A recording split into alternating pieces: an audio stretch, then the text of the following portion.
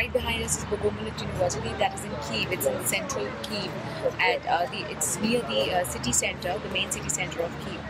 Uh, it is almost, you know, um, uh, I mean, inside the radius of 10 kilometers from the city center.